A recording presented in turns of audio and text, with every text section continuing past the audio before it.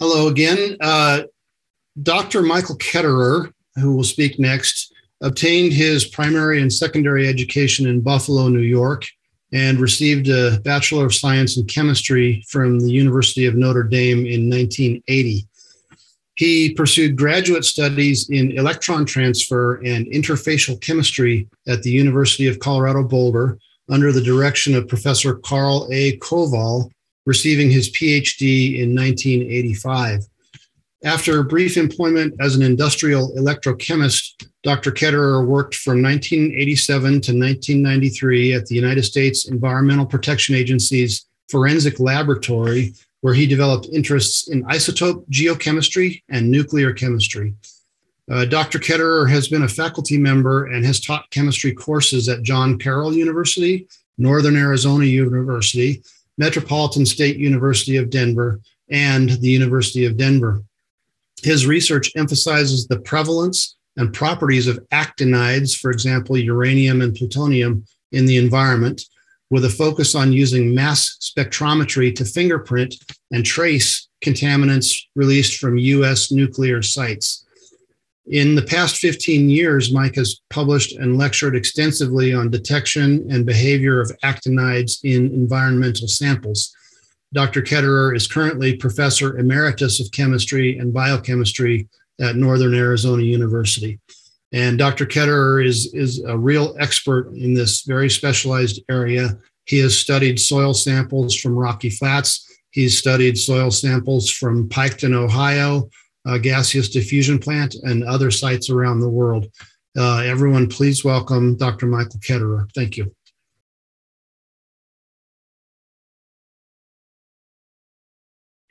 Good morning, everyone. I'm Michael Ketterer. Uh, I'm Professor Emeritus of Chemistry and Biochemistry at Northern Arizona University in Flagstaff. And I'm an analytical environmental chemist, and I've done work on uh, plutonium in sites from worldwide locations, both from stratospheric fallout and from other sources. And here today, I'm going to talk a little bit about some of our recent work looking at plutonium dioxide particles in soils from the proximity of the former Rocky Flats site. So if we go to slide two, uh, here's an outline of what I'd like to go through with you today.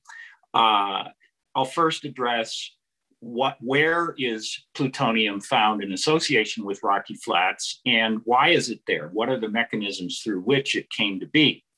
Uh, and that requires us to talk about the physico slash physical slash chemical nature of the plutonium in the soil. Uh, and what do we find today um, in terms of what types of plutonium bearing particles are present?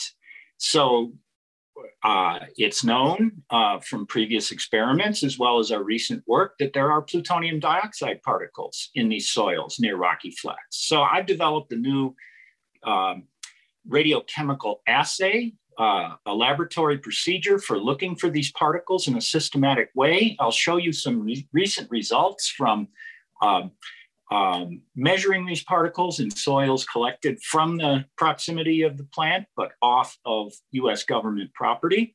And then at the end, my message is I'm passing this off to the medical and toxicological community because my expertise is not in those areas. I'm not really uh, here to talk about what harm might come from these particles, although I think it's a common sense that it's a good idea not to inhale them.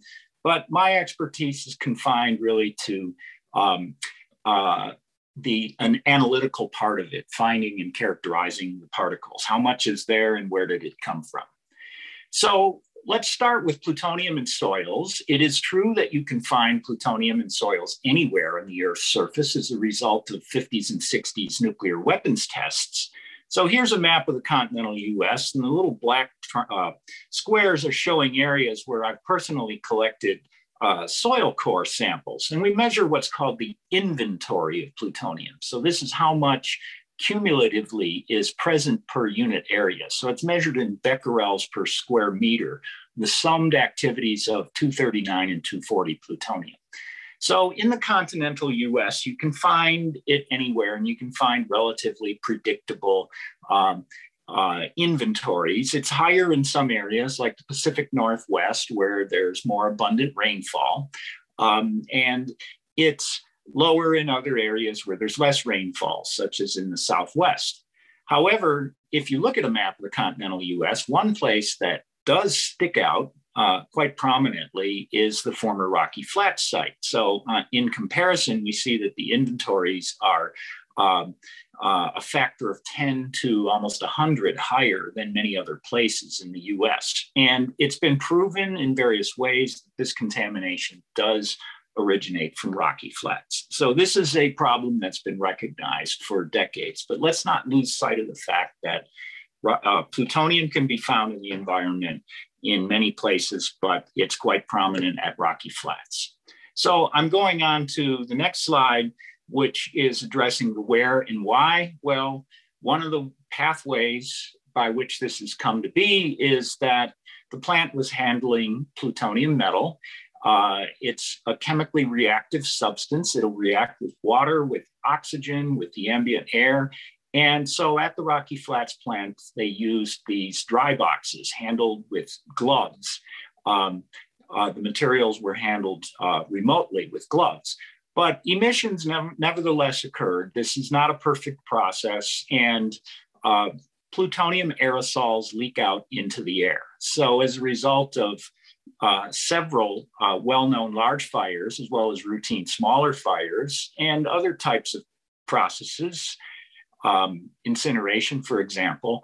Uh, this plant has generated a lot of plutonium dioxide particles, which have gone into the environment, and they range in size from nanometers to several microns uh, in size. In fact, uh, in the JPPHA 2019 studies, uh, evidence was found for an 8.8 micron particle, a, a, couple kilometers from the former plant.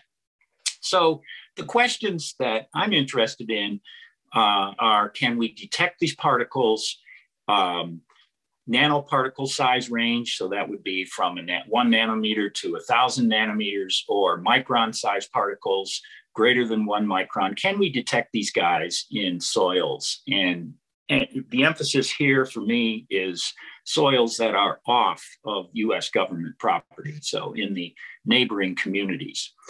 And a second question is what kinds of chemical transformations uh, might have occurred in the intervening decades. Uh, some of these particles have been out there for 40, 50 years. What's happened to them chemically? Uh, have they been transformed, leached, dissolved, or anything? It's generally thought that plutonium dioxide is pretty inert chemically. Think in terms of these are little diamonds or cubic zirconia uh, as a rough analogy. But uh, um, that sort of remains an open question. Can these particles be chemically transformed?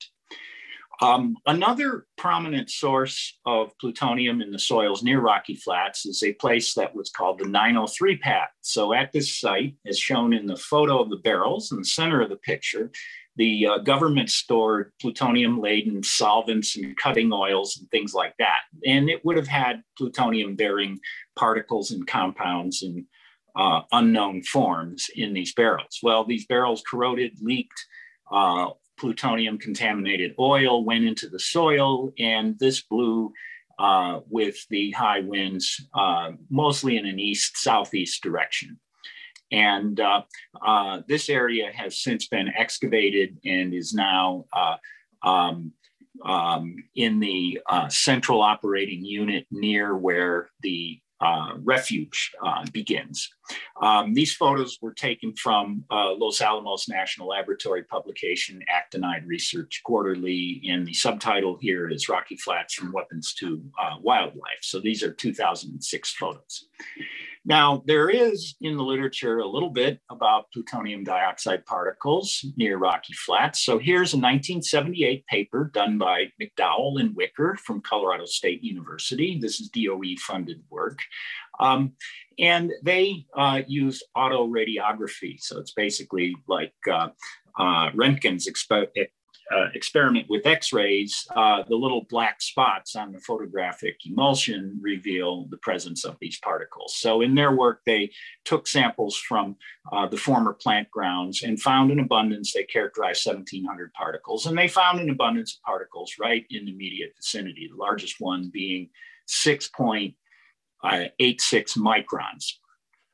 So this is really one of few reports that shows up in the literature or in any kind of uh, government reports about uh, plutonium dioxide particles near Rocky Flats. It seems like uh, uh this subject has been underemphasized and more emphasis been placed on the uh, uh, 903 pad as a source of contamination. So in, in my work, I'm interested in looking for this.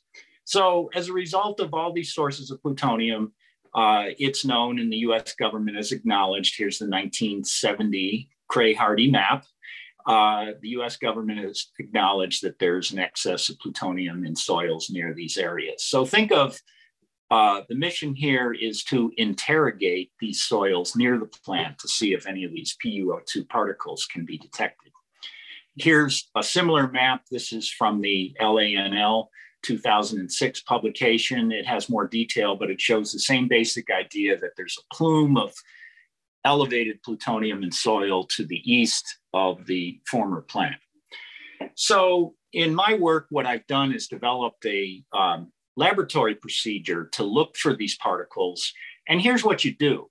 You take a soil and produce a dry uh, 75 microns uh, fraction and so this is fine sand and smaller particles, the kind of stuff that can be transported in the Chinook wind conditions, for example.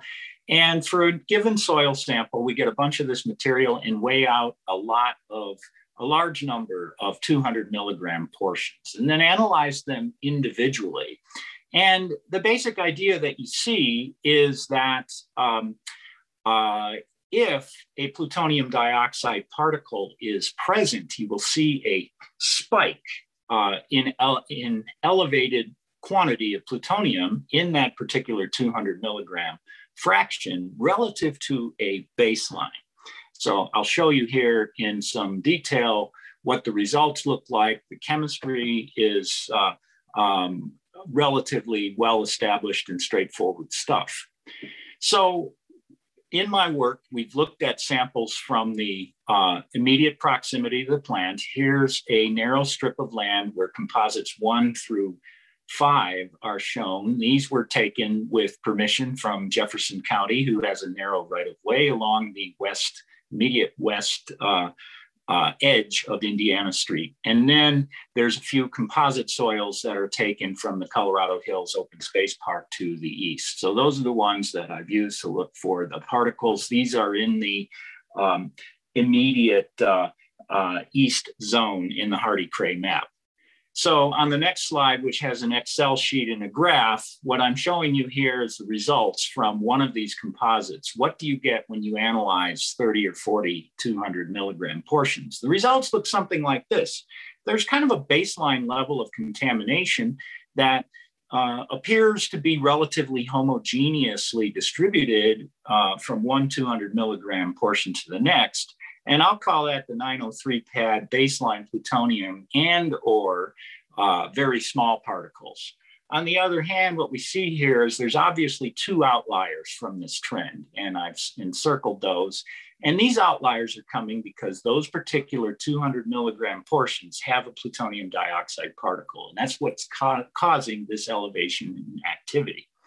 And so what we're doing here in this work is trying to look for uh, this type of elevation in activity above a uniform baseline and ascribe that to an individual particle.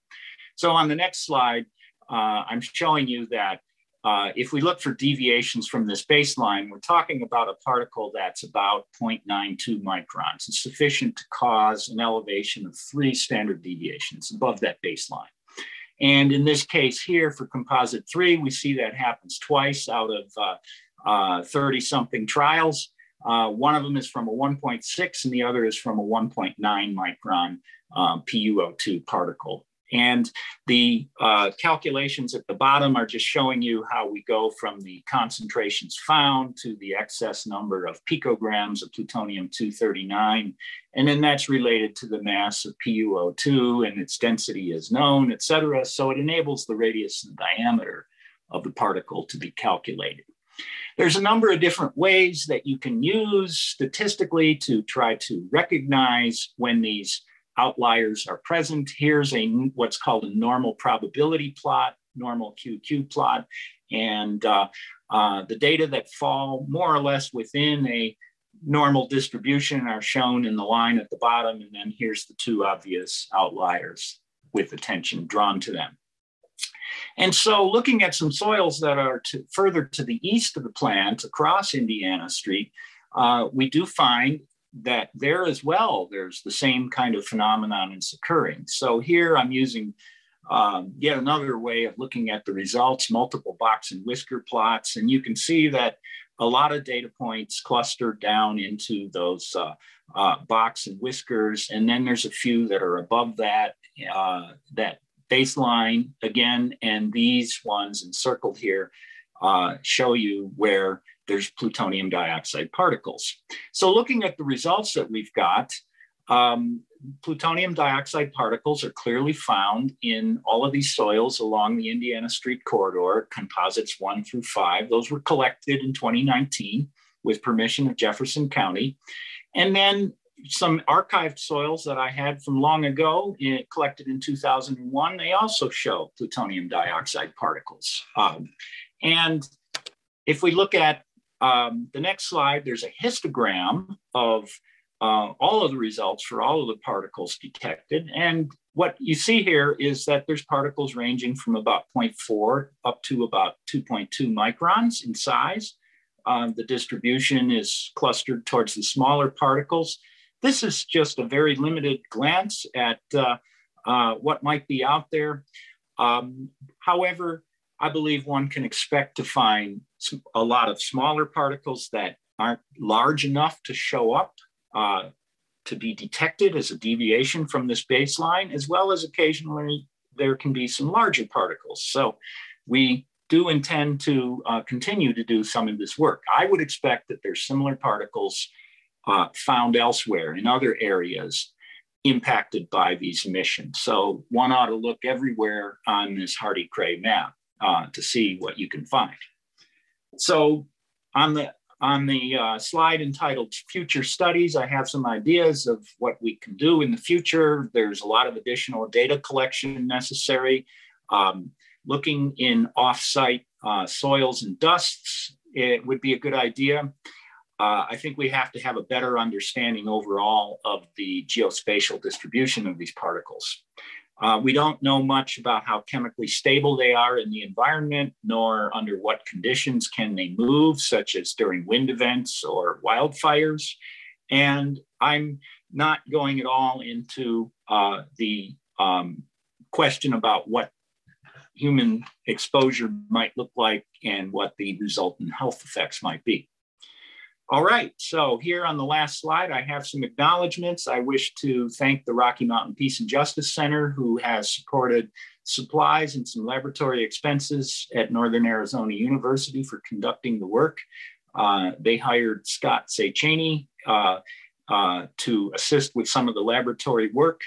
Uh, Northern Arizona University provides the site and the radioactive materials license for this work. And I also want to thank the Ingram Lab uh, for cooperation and sharing of the ICP-MS facility. And thank you for your attention.